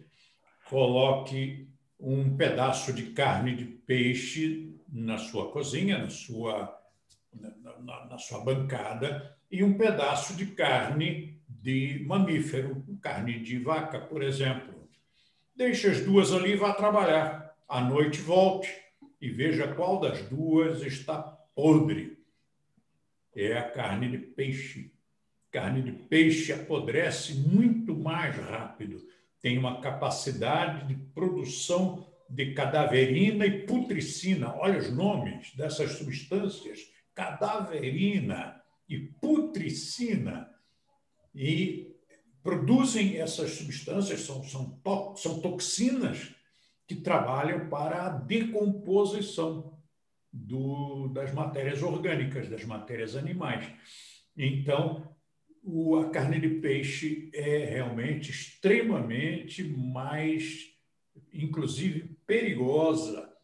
Eu me lembro quando eu era pequeno e que lá em casa comia-se carne, né? minha mãe, minha, meu pai, toda vez que tinha peixe era um ritual para três, quatro pessoas cheirarem o peixe, cheirarem a comida antes de dar para a criança, porque eles tinham uma verdadeira paranoia com uh, o, o, alimento, o peixe, que, que, já não era mais, já não estava mais em condições de ser consumido, porque apodrece muito rápido. Pronto, isto já bastaria, não é? Para nós. Já bastaria. Só bastarmos do peixe. É verdade, é verdade. Só isso. mais, professor Luiz. Sim. O, a pessoa pescar é, não sei o quanto não seria pior do que matar um animal, porque o peixe, ele, ele para quem pesca com anzol, você imagine, você está andando pela rua, de repente entrar um pedaço de aço que assim na sua, no seu palato, rasgar e sair por aqui assim e puxarem você e jogarem dentro d'água. Então, além daquela dor, você ainda está se afogando dentro d'água. E aí, lá dentro da água, vem alguém e arranca essa coisa. Mas lembre-se de que o anzol tem uma farpa, que é para não deixar que o peixe saia. Então, quando o pescador arranca o anzol, ainda rasga aquilo tudo. E de, isso você dentro d'água, se afogando. É a mesma coisa quando fazem isso com peixe, puxam para fora da água e depois arrancam o anzol jogam o peixe lá no recipiente que vão levar para casa para comer. E é uma, um sadismo, uma falta de compaixão, uma falta de raciocínio até. E quanto àquelas técnicas modernas de pescaria, que é uma covardia, né? você olha pelo, pelo radar, descobre onde é que estão as grandes eh, quantidades de peixe, vai lá e passa um, um arrastão e traz tudo, traz os peixes, traz se tiver tartaruga vem junto, se tiver golfinho vem junto, traz tudo. E numa quantidade, se você vir um documentário desses barcos pesqueiros, você fica assustado. Como é que ainda não esvaziaram os oceanos pela quantidade que cada barco, cada um deles retira por dia. É uma loucura a quantidade de. Como nós somos predadores, predadores. O ser humano é um predador por natureza. Alguns não, felizmente. E a humanidade está tomando consciência aos pouquinhos. Né? Vamos ver o que temos na cozinha. Vamos lá, não é verdade, mas vamos lá. Manu e Éder podem só uh, desmutar para nós conseguirmos ouvir. Isso, já deu. Pronto. Bom, a gente já está chegando no final, então a torta mais uns dois minutinhos já vai sair do forno. O aspargo está pronto. E agora a gente vai colocar com aquele pouquinho de óleo, de azeite de oliva, bem pouquinho mesmo, porque o, o tomate já solta bastante água, salta bastante água, e o mesmo massala que eu coloquei para o aspargos. O fogo tem que estar bem, bem quente, porque vai ser bem rápido. Opa! Acho que vai ser talvez nem dois minutos, porque eu não, não quero cozinhar muito tomate. Eu quero só extrair um pouquinho do sabor do massala nele. E aí depois eu já vou montar o prato. Eu gosto sempre de tampar. Lembra para deixar um pouquinho do vapor aqui, ó. Já mistura. Aliás, já vou deixar aqui um convite em aberto. Eu fiz isso no backstage. Uh, todos de Portugal que estão aqui na Lufada, principalmente a. Cuidado que temos gente no YouTube, Éder. Tem muita gente. Não, calma. Tô me empolgando. Mas vamos lá, ó. Então, devagarinho. Então, o professor Luiz Lopes, a MT. Quando estiver em São Paulo, vocês estão convidadíssimos para vir aqui em casa. A gente vai fazer esse prato para vocês, para vocês não ficarem com água na, na boca. E o professor De Rose também. Porque ele já eu teve também, aqui em eu casa, já também. conheceu o nosso apartamento, mas É. estávamos no meio da pandemia. Foi por uma, Então, pronto. um motivo excepcional. a gente eu ainda não recebeu ele né, para uma refeição conosco aqui em casa. Eu adoro a vossa cozinha, eu acho a vossa cozinha linda. Diga, A professor gente De Rose. também gosta. Já aceitei o convite. Eu também. Fechado. A gente vai fazer exatamente esse prato aqui, vocês vão. Nossa, vai ser muito legal. E vai ser fácil, a gente já vai deixar pronto só botar no forno. Você vai fazer o aspargos na hora e o tomatinho. Bom, já tá ficando pronto aqui. Só mais alguns minutos, deixa eu ver. Uau! Ah, Sério, a gente vai ter que comer isso logo. Já tô com fome. Então a Manu já vai tirar a, a torta, a gente já vai montar aqui o prato, eu vou montar o prato e já vou mostrar para vocês. Vamos montar aqui, amor? Boa. Eu não sei, porque as pessoas que estão a cozinhar estão a conseguir acompanhar, têm alguma dúvida? Rita, como é que está a torta? Está ok? Já tirou do forno ou não? Não. Não, ainda está. Enquanto isso, eu vou mostrar as que eu deixei prontinhas boa. Com o restante dos ingredientes. Eu deixei duas prontas que vão para o congelador. E eu coloquei um pouquinho de orégano por cima para dar um gostinho a mais. Aí você guarda assim no congelador, é isso? Depois só coloca no forno quando vai co- cozinhar? Isso, eu, eu coloco só um dentro de um saquinho ou um, um- Geralmente eu pego o saquinho que tipo veio da feira, que eu já tenho em casa, para não ter que usar um saco a mais, um plástico a mais. E, mas se não tiver como, eu acabo utilizando um papel filme, ponho por cima e vai pro forno. Eu tenho outras, que é essa aqui que eu estou utilizando para estar montando o prato, que ela tem a tampinha. Então eu ponho no forno com a tampinha. É. Mas essa a gente vai comer agora, não vai para o freezer. Não vai dar tempo, né? Vocês vão comer É. direto. E aqui o creme de inhame. O que sobrou do inhame, eu ponho nos potinhos e congelo também. E é super ah, útil na cozinha. Ah, é um coringa na nossa cozinha, a gente chama, porque a gente coloca em várias coisas. Para fazer um molho para o macarrão, para colocar num molho branco, para dar uma cremosidade a mais num risoto, a gente põe uma colherzinha de inhame. Gostei da dica. Ah, para fazer umas brusquetas, a gente coloca o inhame, aí coloca uns tomatinhos em cima com azeitona. Então, é um coringa mesmo. E o que sobrou aqui do, do aspargos, a Manu falou antes, é, você pode, não joga fora. É, você pode picar depois e fazer, ah, colocar num caldo de legumes, né? Caldo de legumes.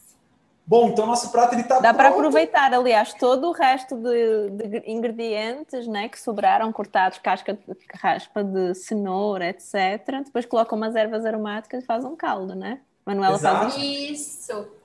E, e quando a gente não. Vamos supor, agora sobrou só esses talos do, do aspargos. Eu vou colocando num potinho, e aí, ah, um outro dia sobrou casca de cenoura. Eu vou colocando no mesmo pote. E um dia, tipo, ah, agora eu quero fazer um caldo de legumes. Eu tiro aquele pote que tá cheio de legumes e aí faço o caldo de legumes. Eu não preciso comprar legumes só para fazer o caldo. Eu já tenho o que sobrou dos outros dias. Claro. A Essa Nina, quarentena foi demais. A Nina está a comentar que também dá para fazer com inhame, requeijão e iogurte. Eu não sabia Perfeito. desta dica. Dá? E se você bater, aqui a gente fez salgado, né? A gente colocou sal, colocou limão, mas daria para bater o inhame com morango. Ele fica parecendo um danoninho, só que muito mais saudável que danoninho. Uau! Muitas dicas. É. Já tem sobremesa Bom. também. Se não colocarem sal, já fica com a sobremesa. É. Sim. Bom, nosso prato ele tá pronto. Vocês querem colocar a música agora e eu mostro aqui como é que funciona agora essa parte? Eu não sei. Sim, pode, pode Sim? mostrar e, na- e a técnica coloca a música. Isso. Vamos lá. Vem, Manu, vem comigo. É que nós, nós até banda sonora já temos. Vamos lá, a gente vai colocar a mãozinha junto aqui. Que Ó, bonitinho. aqui. Aí.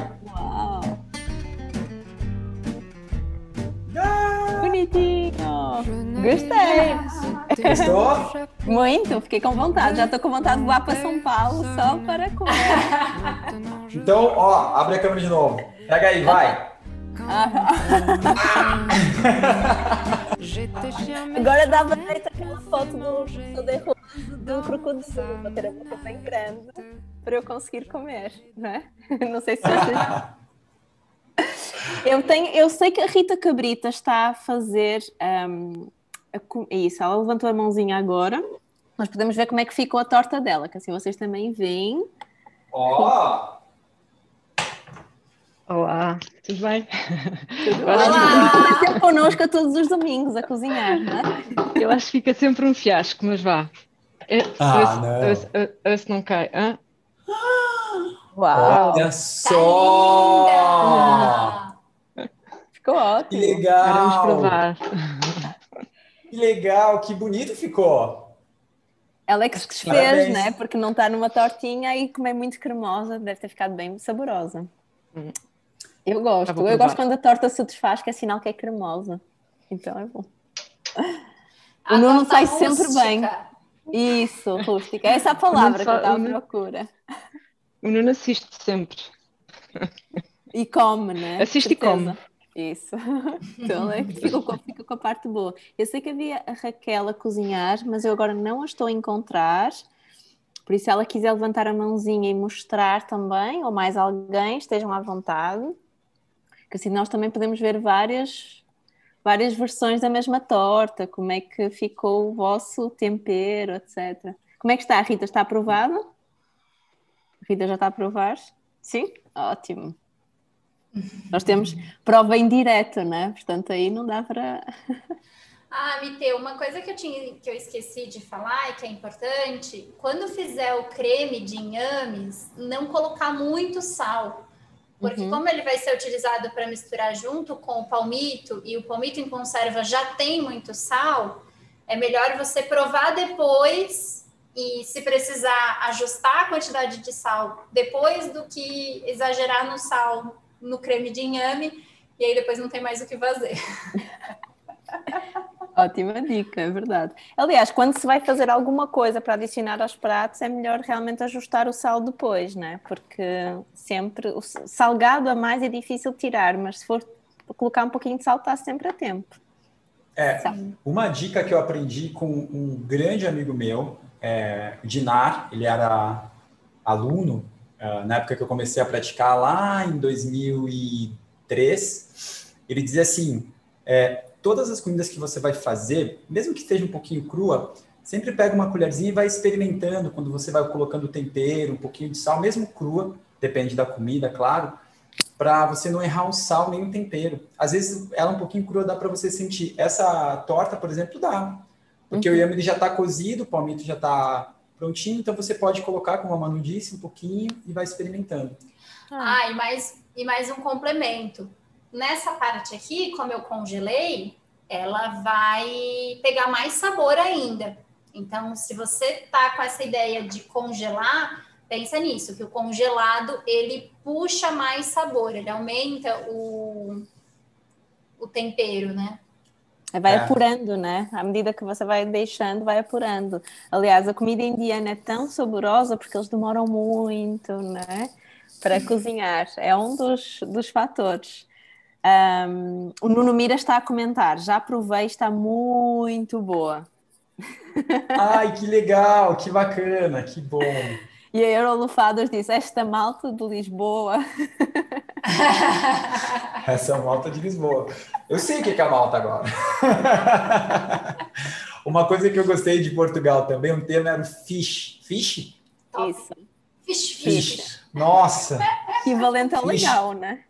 É. Fish, fish. Nossa, o que, que é fish? Mas eu, logo, logo eu vou descobrir. Essa parte boa fish de viajar. É legal. Né? É legal. É legal. Trilegal. É Fish é trilegal, eu acho, hein? e também está aqui alguém comentar no chat se você conhece a palavra gira.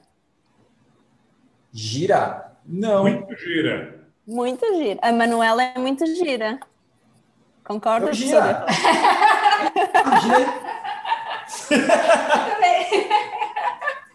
Não é isso, né? É bonita, uh, bela, bonita, hum. muito gira. Ela é gira, super gira. super gira. Trigira, vamos combinar. Trigira. Bah! É. E menina, é, em, no Rio Grande do Sul, a gente chama de guria. Uhum. Então, ela é uma guria trigira. Isso. que confusão de línguas. E alguém e alguém está a dizer fish, tri gira. Trigira, podia ser. Bah. Meu Deus, já estamos aqui. Nossa! Vai, trigira esta guria! Aí, ó. Ai, que saudade, cara. Nossa, a gente está aqui conversando online. Que bom que tem internet hoje para nós assim tão boa, né? Mas nossa, eu fico conversando com você, que saudade de estar com vocês aí em eu Portugal. Também. Nossa. Eu também tenho saudades, por isso a o professor De Rose. Boa, né? É, o professor De Rose está aqui pertinho. Ah. Dá para estender o braço e me encontrar. É verdade. Aliás, professor, é, quando você fez o chai aquela vez, que você gostou da forma como ficou, eu conversei com o Lucas, que filmou, ele tem a, a filmagem toda completa. Então, logo, logo eu já vou enviar para você, para a gente ver ali como é que você fez, o tempo, e de repente. A cronometragem. Se quiser, eu já faço isso, só te dou a cronometragem, melhor? Isso. Aí você não precisa ter o trabalho de fazer. Tá bom, vou fazer isso. E aí eu te envio porque eu vou contar para quem não sabe. É nós fizemos um vídeo sobre a confecção do chai e no vídeo eu usei tempos diferentes. E como toda grande descoberta científica, o erro nos conduziu a uma descoberta. Como eu usei tempos diferentes, ao provar, o chai ficou muito melhor. Então, eu, ao refazer o chai com os tempos certos, não ficou a mesma coisa. Por isso é que nós estamos agora pesquisando no, com, com o nosso cameraman, que tem todos os tempos ali cronometrados, para saber com quanto tempo eu levei em cada etapa do chai. Então, para é, quem quer ver o chai, eu deixei o link no chat do Zoom e no chat do YouTube. Por isso é só clicar e vão direto para o chai, para aprender a fazer o autêntico chai, né, professor? Ah, que bom que você colocou o link. Isso. Assim eu, cada pessoa. Eu também gosto de ver como se faz. é. Eu também. E uma coisa legal do chai é que as quantidades foram as mesmas, sempre foi só o tempo que mudou. E foi, agora eu lembrei, professor, foi do primeiro chai que a gente fez. A gente fez dois, lembra? Foi do primeiro. O segundo não. Foi do primeiro. Tem que lembrar. Eu, eu que tenho que lembrar disso para te dar os tempos, senão te dar o tempo do segundo aí. Mas o segundo primeiro. não foi gravado. Ah, é, acho que o segundo foi gravado. É, foi o primeiro, então tá tudo certo. Bom. Foi muito bom estar na companhia de vocês, de vocês todos. Muito obrigada ao Éder, à Manuela, não só por cozinharem e partilharem convosco as vossas dicas, não só da comida, mas de outras, né?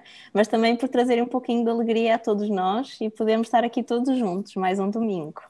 Então, como nós estamos a aproximar-nos do final, eu vou aproveitar este momento para também começar a falar do, da programação das lufadas, porque nós estamos aqui todos os dias, de segunda a segunda. Então, vou pedir à técnica se puder passar os, os links das, os textos. Ah, exatamente, Lefada de Alegria. Programação da semana. Portanto, amanhã nós continuamos às 21 horas do Brasil, meia-noite Portugal, Reino Unido e uma da manhã da Europa. E o tema de segunda-feira é profissão, missão e paixão. E o anfitriã, o anfitriã é a Federação de Rose Meta do Paraná. Terça-feira, uh, The Rose Method um, Art Company School é o é anfitriã e o tema é Soft Skills, habilidades socioemocionais. Quarta-feira é o único dia que é reservado aos nossos alunos e pessoas que vivem com os, os com os alunos, e é o anfitriã é a Federação de Rose Method dos Estados Unidos e Reino Unido. Quinta-feira nós temos o tema relacionamento afetivo, sendo o anfitrião o, anfitrião The Rose Method Jardins Sede Central. E sexta-feira é, é a Federação da Argentina que é anfitriã, e será um círculo de leitura. A cada sexta-feira é um tema, é um livro diferente do professor De Rose. E sábado e domingo somos nós aqui, The Rose Method Portugal e França. Sábado nós temos o Cine Pipoca e debates sobre bons filmes. E domingo, o, o, tema que nós estamos a fazer aqui hoje, que é o gourmet, portanto, receitas culinárias com muito sabor. Ao fim de semana, nós mudamos o horário para ficar mais agradável às pessoas da Europa. Portanto, nós começamos às 17 horas de Portugal e Reino Unido e 18 horas de Fran do resto do, do, da Europa. E, ser, e, será três horas antes uh, do Brasil. Nós vamos mudar a hora no final do mês, portanto, também estejam atentas a esse, esse facto.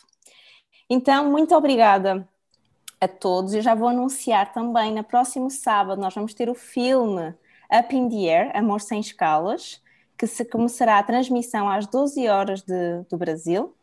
E no próximo domingo nós vamos continuar com o Top 10 de 2020. Será o último chefe, que é o Sidney Reis, com um fantástico hambúrguer de grão de bico e abóbora e mais um milkshake do Cidi. É assim que se chama. Portanto, estejam mais, estejam preparados para o próximo domingo. A Manuela já está a fazer uma carinha bem de surpresa. Então, eu vou aproveitar e agradecer a todos que estiveram presentes, a todos que estiveram nos bastidores, a todos que estiveram no YouTube, participaram, levantaram a mãozinha. Manuela e Éder, um beijinho muito grande e muito obrigada. E vou obrigada agradecer. Obrigada a vocês pelo convite. e eu vou, vou, agradecer particularmente ao professor De Rose pelo dar as últimas palavras antes de encerrarmos. Professor De Rose. Eu amei a nossa programação de hoje, até porque esse casal é lindo e divertido. Então, deviam vir mais vezes. A todos, vocês dois e a todos, todo o pessoal da técnica, né, todo mundo que participou, um beijão e até amanhã. Quem puder participar, amanhã será às 21 horas do Brasil. Um beijo a todos. Até amanhã. Um beijo a todos, obrigada, professor De Rose. Eu vou aproveitar, antes de passar a palavra ao professor Luís, vou-me despedir dos amigos do YouTube, que nós temos uma surpresa especial para o final. Então, um beijinho muito grande, beijinho a toda a gente do YouTube e a toda a gente que está